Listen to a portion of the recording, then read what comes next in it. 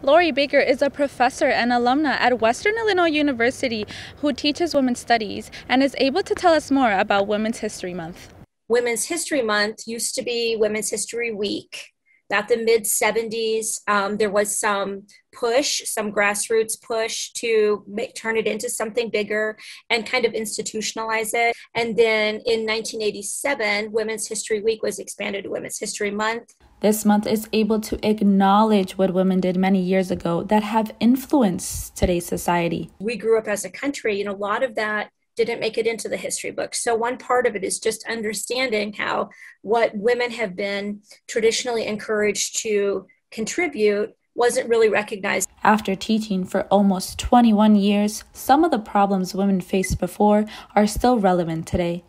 It was my firm belief that the things that I was teaching about, you know, as I was a professor of women's studies, those issues would change. But really, quite honestly, the same things I taught about 20 years ago are the same things we're still teaching about. Women's history highlights the amazing things women have done, but there are problems that still need solutions. We're in transition. You know, we're trying to keep up with everything that's happening while still, I mean, Women's History Month's a great time to reflect on this while still recognizing, you know, what's happened before and what kinds of things have changed and what things haven't changed.